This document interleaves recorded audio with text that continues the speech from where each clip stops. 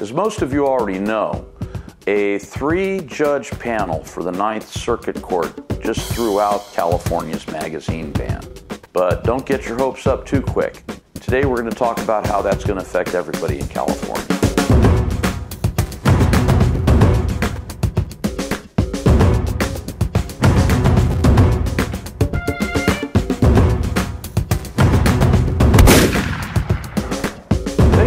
Joining us on SH007ER The Series. My name is Ed Thorell from Firearms Education and Training, and we'd like to thank all of our viewers for sticking with us, helping us get good traction. If you really want to help us out, hit the subscribe button, but also hit the like and hit the share. Uh, this really helps drives the show, and every little bit helps. Now, for those of you paying attention to California, we had some very good news this week where a three judge panel on the Ninth Appeals Court basically threw out the law saying that we couldn't have um, regular capacity magazines. And that's a good thing. Now, don't get too excited though, because there's still a stay that's in, in place, so we can't just run out and buy them. There have been a few online stores that have advertised shipping to California, but I don't know how that's going to work out. So, what's important to remember is this is all part of the process. Now, the Ninth uh, Appeals Court has gone a little bit more to the conservative side in the last couple of years. And it could be that it might take a couple of years before they revisit this again.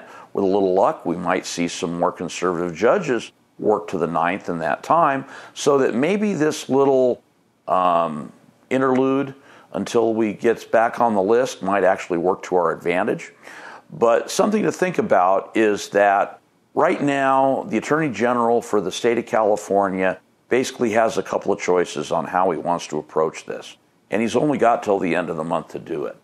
The first is to sign up for an appeal with the Ninth uh, Appeals Court to where he would have what's called an en banc decision where there would be an appeal that would be put in front of an entire 11 judge panel that would review the case again to see whether or not um, the state could win again. Uh, from there, it could go on to the Supreme Court.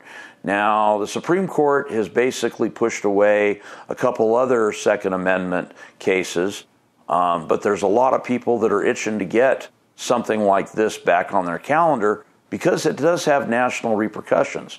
There's other states that have also got similar types of magazine restrictions. So this could actually help out other states beyond just what we've got going on here. Um, it's also worth pointing out that this is not the only thing that is being considered by the Ninth and being considered by Judge Benitez. Uh, we are still under a review having to do with the new ammunition requirements for all of the background checks. That's also being reviewed.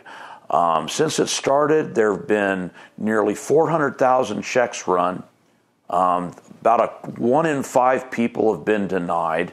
And because it's caused such a hassle, there is a big move to try to get this thing removed. So we might see that, but we could also maybe see some movement on review of California's uh, laws regarding uh, what they refer to as assault rifles. So, with Judge Benitez's help, with uh, a conservative move among the Ninth Appeals Court, and the relative change in support for uh, the Second Amendment in the United States and California, uh, we might actually see some positive change come out of this. However, we're going to have to be patient with all things. So we just wanted to give you guys a little bit of an overview, um, let you know that you should really be supporting uh, California Rifle and Pistol Association, the CRPA. They did most of the heavy lifting on this, as well as the NRA. But the CRPA really deserves your support. So give to them because they're the ones who've actually put boots on the ground. They're the ones that are actually taking this fight to Sacramento, and they deserve your help. So keep that in mind. If, if, you're looking for a worthy cause to give to, they're definitely worthy because they're fighting for all of us. So basically, we want to thank you all for tuning in, for watching us here on SH007ER The Series. Uh, you can also check us out on our other social media. If you're looking for more information on links, you can also check that out below in our description box so you can have links to these various decisions and read up on them yourself.